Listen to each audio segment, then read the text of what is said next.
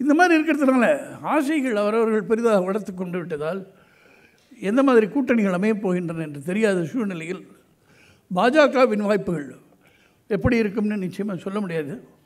முன்ன விட டெஃபினெட்லி ரொம்ப பெட்டராக இருக்கும். ஏன்னா மோடி மேலே இருக்கிற நம்பிக்கை நாடு முழுவதும் வியாபித்திருக்கிறது. அதனாலேயே கொஞ்சம் ஓட்டு வரும். கலைஞர் சொல்லியிருக்காருன்னு சொன்னாங்க. திமுகவால் யாராலையும் திமுகவை அழிக்க முடியாதுன்னு.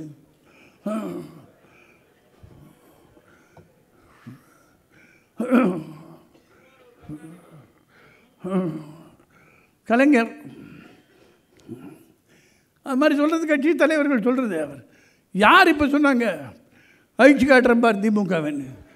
யாரும் சொல்லலை. அவராக நினச்சிக்கிறார். ராத்திரி தூக்கத்தில் என்னமோ கெட்ட கேனாலாம் வருத்தப்படுறேன் அதிலேருந்து அவர் விடுபட வேண்டும் என்று அவர் நம்பாத நான் நம்புகிறேன் இறைவனை வேண்டிக் கொள்கிறேன். பாஜக இங்கே வரவே முடியாது அப்படின்னு அவர் சொல்கிறது ஏற்றுக்க முடியாது. இந்த மாதிரி நினைச்ச இடங்கள் எல்லாம் பாஜக நிறையவே வந்துன்னு இருக்கு இப்போ அதனால் அதற்கும் வாய்ப்பு உண்டு. எப்போதுன்னு சொல்ல முடியாது.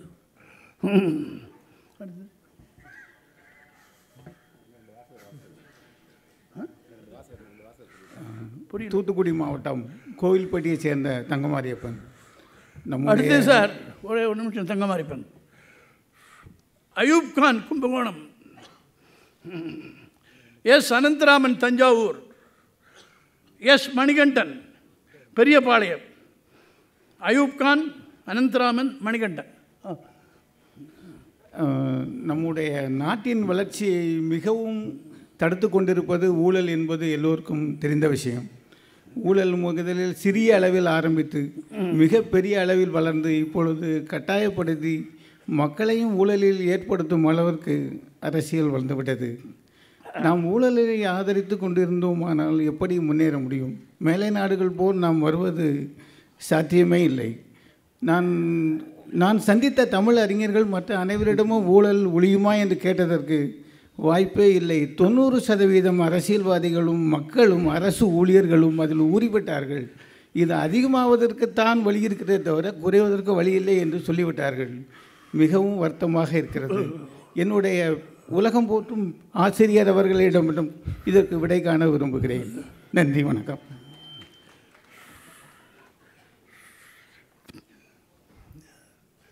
ஊழல்ன்றது ஒழிஞ்சிரும்னு நானே கூட எதிர்பார்க்கல. ஆனால் மிகப்பெரிய அளவில் குறைக்கப்பட்டு விடும்.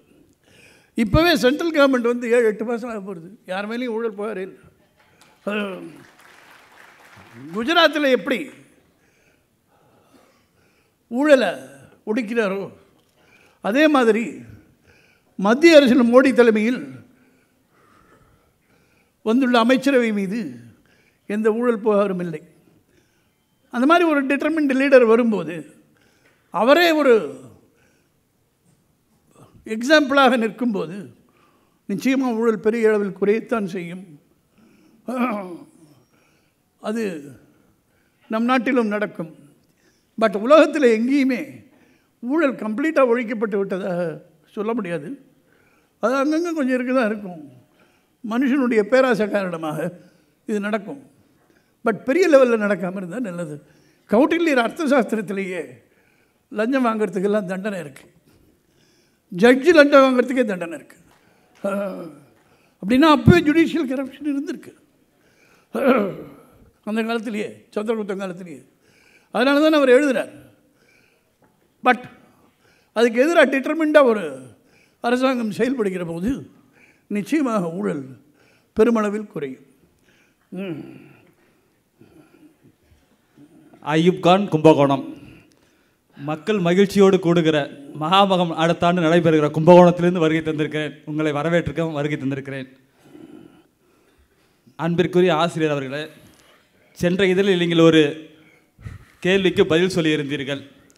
மதுக்கடைக்கு எதிரான ஒரு போராட்டம் அதிகமாக வலுத்து வருகிறது என்று ஒரு வாசகர் கேட்ட கேள்விக்கு நீங்கள் அளித்திருக்கிற பதில் என்றால் என்னவென்றால் இப்பொழுது மதுக்கடைக்கு எதிரான போராட்டங்களில் விளம்பரம் தேடுவதற்காக போராட்டங்கள் நடைபெறும் என்று நீங்கள் சொல்லியிருக்கின்றீர்கள். அன்பிற்குரிய ஆசிரியர் அவர்களே இன்றைக்கு தமிழகம் முழுவதும் கொளுத்து விட்டு கொழுந்து விட்டு எரிகின்றது.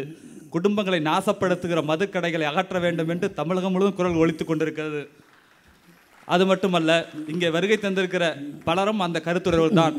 டாஸ்மார்க் இல்லாத மதுக்கடைகளை உருவாக்கியே தீர்வோம் என்று அன்பிற்குரிய சகோதரி தமிழிசை சவுந்தரராஜன் அவர்கள் வீரமங்கையாய் வீரமுழக்கமிடுகிறார். கம்யூனிஸ்ட் கட்சிகள் வாரந்தோறும் இயக்கங்கள் நடத்தி கொண்டிருக்கிறது. அது மட்டுமல்ல பேராசிரியர் ஜவாஹருல்லா போராடுகிறார். தமிழ்நாடு முஸ்லீம் இப்படி தொடர்ச்சியாக இந்த தேசத்தில் மதுக்கடைகள் இருக்கக்கூடாது என்று போராடுகிறார்கள். அது மட்டுமல்ல ஆன்மீகவாதிகள் எல்லாம் களத்தில் இறங்குகிறார்கள். கடவுளிடம் மட்டுமே கோரிக்கை வைத்தவர்கள் எல்லாம் இப்பொழுது ஆட்சியாளரிடம் கோரிக்கை வைத்து ஆ, கண்ணியத்துக்குரியவர்களே இந்த மதுக்கடை அடைங்கள் என்று போராடுகிறார்கள். நான் இங்கே இந்த மாதிரி கூட்டத்துக்கு வருகிறேன் என்று சொன்ன பொழுது பல பெண்கள் அன்போடு சொன்னார்கள். ஆன்மீகவாதிகளெல்லாம் குரல் கொடுக்கிறார்கள். அன்பிற்குரியவர்களே ரஜினிகாந்த் அவர்கள் இந்த நிகழ்ச்சியில் கலந்து கொள்கின்ற போது அவரிடம் நீங்கள் சொல்லுங்கள் அவர் குரல் கொடுக்க வேண்டும். அவர் ஒரு வாய்ஸ் கொடுத்தால்தான் ஆட்சியாளருடைய காதுகளுக்கு இந்த குரல் கேட்கும். அப்பொழுதுதான் டாஸ்மார்க் கடைகள் அடைக்கப்படும் என்று ரஜினிகாந்தும் குரல் கொடுக்க வேண்டும். ஏனென்றால் ஆன்மீகவாதி மீதும் மக்கள்வாதி மக்கள் மீதும் நட்பு கொண்டிருக்கிற ரஜினிகாந்த் குரல் கொடுக்க வேண்டும் என்று கேட்கிறார்கள். நீங்கள் அதற்கு மதுவுக்கு ஆதரவாக நீங்கள் இருக்க வேண்டாம். மதுவுக்கு எதிராக நீங்கள் இருக்க வேண்டும் பேச வேண்டும் எழுத வேண்டும் என்று துக்ளக் வாசுவின் சார்பாக கேட்டுக்கொள்கிறோம். ஏன் இவ்வளோ நேரம் பேசிட்டான்னா வரைச்சி நிறைய பெண்கள்கிட்ட பேசிட்டு இருந்தேன் அது இவருக்கும் தொத்தின்னு எடுத்து போடுறேன். மது ஒழிப்பு மது விலக்கு சக்ஸஸ்ஃபுல்லாக நடக்கும்ன்ற நம்பிக்கை எனக்கு இல்லை. அதை நான் எழுதியிருக்கேன். இப்போ இல்லை ரொம்ப வருஷமாகவே எழுதியிருக்கேன். அது நிறைய பேர் ஒத்துக்கலான்றது எனக்கு தெரியும். ஆனால் எல்லாரும் ஒத்துக்கக்கூடிய விஷயங்களை தான் பேசுறதுன்னா துக்குளக்கே நடத்த முடியாது. இதை எதிர்க்கிறவர்களில் ரொம்ப அப்ரிஷியேட் பண்ணப்பட வேண்டியவர் டாக்டர் ராம்தாஸ்ன்றது என்னுடைய அபிப்பிராயம். ரொம்ப ஜெனுவினாகவே அவர் எதிர்க்கிறார். ஏன்னா அவருக்கு வன்னியர்கள் நாசமாக போகிறது பேக்வேர்டாகவே இருக்கிறதெல்லாம் இதுதான் காரணம் அப்படின்னு ஒரு நம்பிக்கை உண்டு அவருக்கு. நிறைய பேர் இதை ஒரு பொலிட்டிக்கல் பிளாட்ஃபார்மாகவும் ஒரு விளம்பரமாகவும் கூட பண்ணிட்டுருக்காங்க பட் ஜனங்க ஒப்பீனியன் கம்ப்ளீட்டாக இதுக்கு எகென்ஸ்டாக டேர்ன் ஆகுது. மதுவுக்கு எகென்ஸ்டாக மது விலக்கு வேணுன்றது தான் ஜனங்க ஒப்பீனியன் அப்படின்ற நிலைமை வந்தால் ஆட்டோமேட்டிக்காக பொலிட்டிக்கல் பார்ட்டிஸ் அந்த ஸ்டாண்டை எடுத்துருவோம். ஏன்னா இன்றைக்கி ஜனங்க பின்னால் போகிறவங்க தான் லீடர் ஜனங்களை லீடு பண்ணுறவ லீடர் இல்லை. அதனால் பார்த்துட்டு ஓட்டுக்காக மாறிடுவாங்க. அவ்வளோ தூரம் உங்களுக்கு கான்ஃபிடென்ஸ் இருந்ததுன்னா எல்லாரும் மது எதிர்க்கிறாங்கன்னு. மது நிச்சயமாக மது விலக்கு வந்துவிடும். இதுக்கு ரஜினிகாந்தோ வேறு யாரும் குரல் கொடுக்க வேண்டிய அவசியமே கிடையாது. ஜனங்க இதுக்கு எதிராக திரும்பினா கவர்மெண்ட்ஸும் இதுக்கு எதிராக திரும்பிடும். அவ்வளோ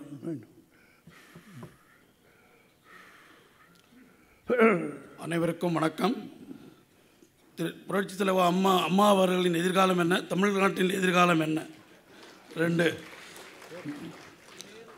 திரு திரு காங்கிரஸ் காங்கிரஸ் இருந்து விலகி திரு வாசன் அவர்கள் புதிய கட்சி தொடங்கினார். அவருடைய அரசியல் பயணம் பற்றி ஆசிரியர் கூற வேண்டும். மூன்றாவது கேள்வி. எஸ். அனந்தராமன் தஞ்சாவூர்.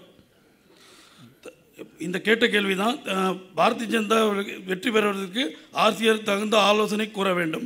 ரெண்டாயிரத்தி பதினாறு சட்டசபை தேர்தலில்.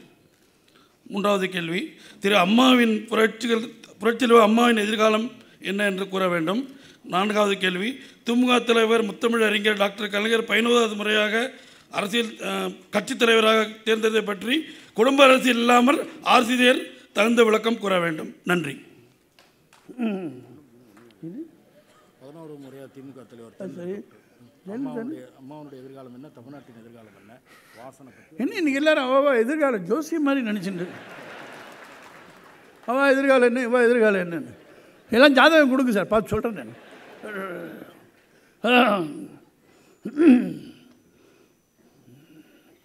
ஜெயலலிதாவை பொறுத்தவரையில் அந்த சொத்து குவிப்பு வழக்கு முடிவு என்ன ஆகிறது? என்பதை பொறுத்து அவருடைய அரசியல் எதிர்காலம் இருக்கும்.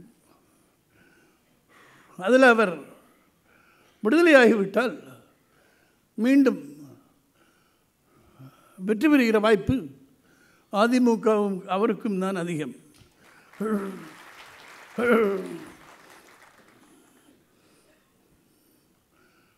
என்ன சொன்னார்? பாஜகவுக்கு ஆலோசனை சொல்லுங்கன்றார். நான் பாஜக ஆட்சிக்கு வரணும்னு நினைக்கிறேன் சார். நான் போய் ஆலோசனை சொன்னால் என்ன கதியாக இருக்குது அது மாதிரிலாம் கெடுக்கிறது அபிப்பிராயம் இல்லை எனக்கு. பாஜக. ஜி. கே. வாசனை பொறுத்தளவில் இப்போ காங்கிரஸ் ஓட்டு அவர்கிட்ட தான் இருக்குது ஏதோ கொஞ்சம் காங்கிரஸ் கிட்ட பாக்கி இருக்கலாம். மினிய காங்கிரஸுக்கு பெருசாக ஓட்டு இல்லைன்றது வேறு விஷயம். இப்போ அவர்கிட்ட இருக்கிற அளவு வாக்கு பலம் காங்கிரஸுக்கு நிச்சயமாக கிடையாது. அவர் ரொம்ப நிதானம் உள்ளவர் ஒரு பரபரப்பு சென்சேஷனலிசம் இதெல்லாம் இல்லாமல் அரசியல் டீசெண்டாக நடத்தி போகணும்னு நினைக்கிறவர். ஊழல் குற்றச்சாட்டெல்லாம் கிடையாது. நிச்சயமாக அவர் தலைமையில் தமாக ஒரு டிசைரபிள் பொலிட்டிக்கல் ஃபோர்ஸாக உருவாகும் நான் நம்புகிறேன் கலைஞரை பற்றி கேட்டார். பதினோராவது முறையான்னு. சார் ஒரு எக்ஸ்ட்ராடினரி கரியர் கலைஞர் அவருடைய ஆரம்ப நிலையிலேருந்து இன்னி வரைக்கும் பார்த்தாக்க எப்படி தான் இந்த மனுஷன் இப்படி சமாளித்தவர் தோன்றும்.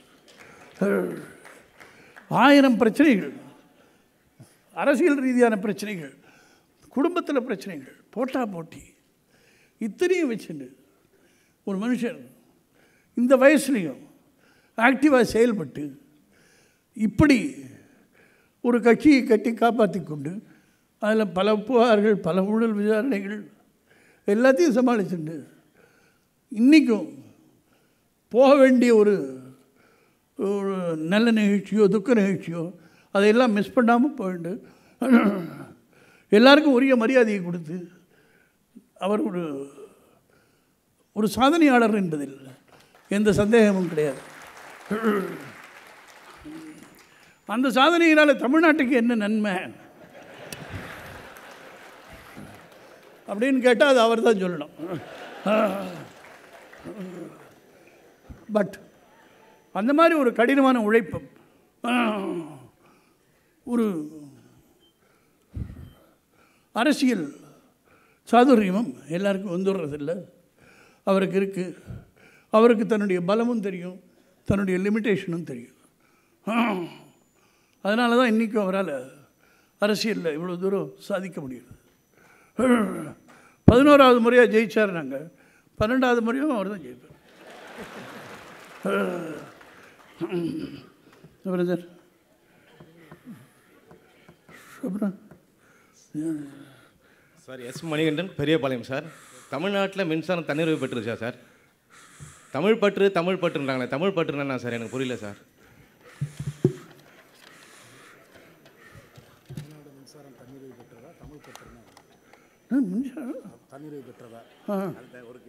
அப்புறம் அடுத்த கேள்வி தமிழ் பற்றுனா என்ன தமிழ் பற்றுனா என்ன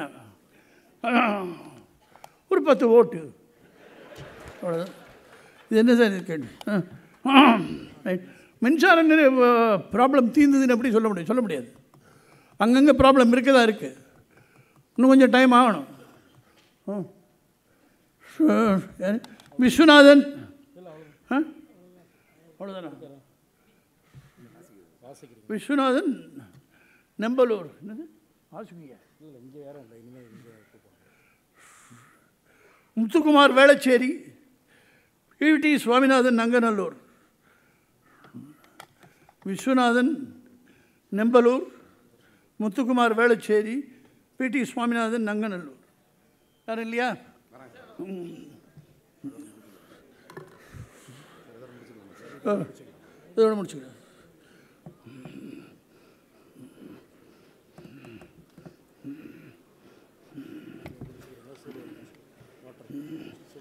நிறைய கொடுத்துட்றீங்க வேஸ்ட்டாக கொஞ்சோண்டு கொடுங்க என்ன சார்? முத்துக்குமார் வேளச்சேரி. முல்லை பெரியாறு அணை விவகாரத்தை துரிதமாக தீர்த்து வைத்த மத்திய அரசாங்கம் காவிரி அணை ஆணையம் அமைப்பதற்கு மட்டும் காலம் தாழ்த்துவது ஏன்? ஒன்று. இரண்டாவது கேள்வி பாகிஸ்தானுடைய எல்லை விவகாரத்தில் இந்தியாவின் பதிலடி இஸ்ரேல் போல் இருக்க வேண்டும் என்று ஆசிரியர் அவர்கள் அடிக்கடி எழுதி வந்தீர்கள். தற்போது அந்த முறைதான் கையாளப்படுகிறதா? இருந்தும் நம்ம நமது தரப்பில் உயிரிழப்புகள் தொடர்வது ஏன்? அவ்வளவுதான். நன்றி. உயிரிழப்புகள் தொடர்றது ஏன்னா அவன் சுட்ட கொண்டே நம்ம செத்து போய்டுறோம். அதில் உயிரிழப்பு. இது என்ன சரி? இங்கே இஸ்ரேல் மாதிரி இருக்கணும். நம்ம ரிட்டாலியேட் பண்ணணும் அப்படின்றத பற்றி கேட்குறாரு அப்படின்னு எழுதியிருக்கேன்.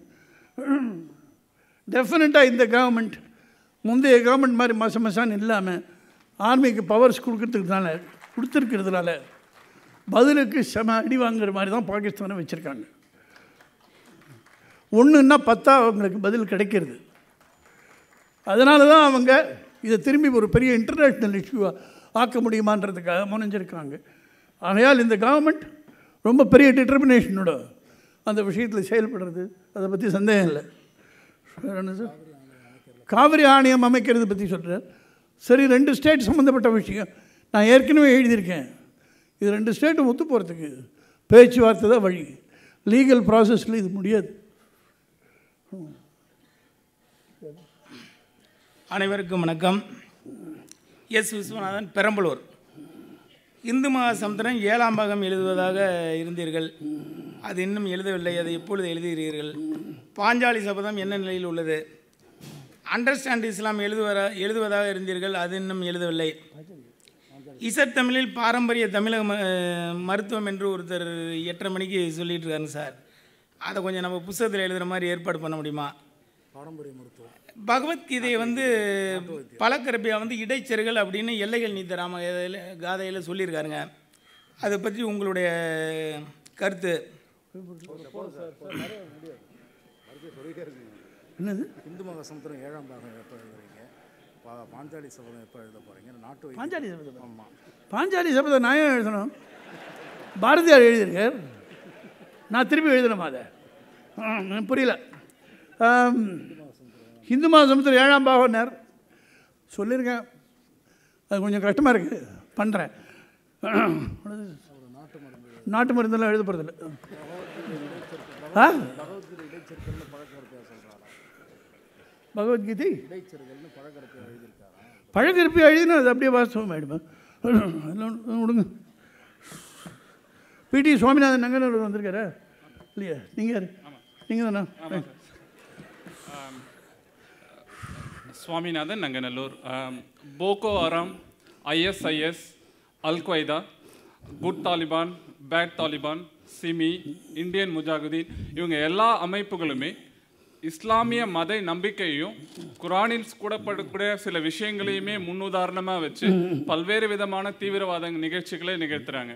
இந்த மாதிரியான நிகழ்ச்சிகளுக்கு இஸ்லாமிய அமைப்புகள் இப்போ ஒரு விஸ்வரூபம் மாதிரியான ஒரு படமோ இல்லை வேற நிகழ்ச்சிகளோ வந்தால் இல்லை எங்கேயோ வந்த ஒரு கார்ட்டூனுக்காக சென்னையை பெரிய அளவில் ஸ்தம்பிக்க செஞ்சவங்க அந்த மாதிரி ஒரு எதிர்ப்பை தமிழ்நாட்டிலேயோ இந்தியாவிலேயோ காட்டாதது ஒரு தவறுன்னு நீங்கள் நினைக்கிறீங்களா?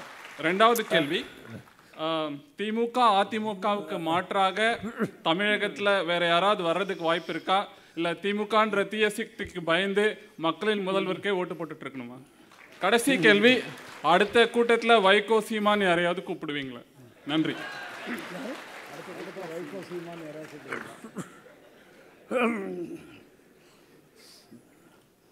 நான் தீவிரவாதத்தை புறப்படுறதுல எனக்கு இன்ட்ரெஸ்ட் கிடையாது. அதனால் இவர் சொன்னவளையெல்லாம் நான் கூப்பிடுவேன்னு நான் நினைக்கல.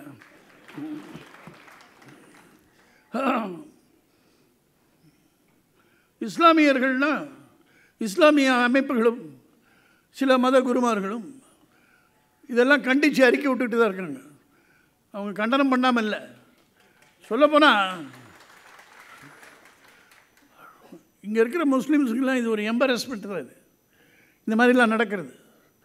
எல்லா முஸ்லீம்ஸுமே எல்லாரும் சந்தேகத்தோடு பார்க்குற நிலைமை வருது. எந்த முஸ்லீமும் விரும்ப போகிறதில்ல அவங்களுக்கு எல்லாருக்கும் வைலன்ஸ் தான் வழி அப்படின்ற நம்பிக்கை இருக்கிறதாவும் தெரியல. குரான் அது இதெல்லாம் தான் ஆதாரம்னா எல்லா ரிலீஜியஸ் டெக்ஸ்ட்டுமே பல விதங்களில் இன்டர்பிரட் பண்ணலாம். அப்படி பண்ணும்போது குரானாக இருந்தாலும் சரி அது பைபிளாக இருந்தாலும் சரி அது பகவத்கீதையாக இருந்தாலும் சரி விதவிதமாக அர்த்தம் சொல்லலாம். அதை வச்சு நம்ம இது இதுதான் இவங்களுடைய ரிலிஜன் அப்படின்னு முடிவு கட்டுறது அவ்வளோ சரியாக இருக்காது.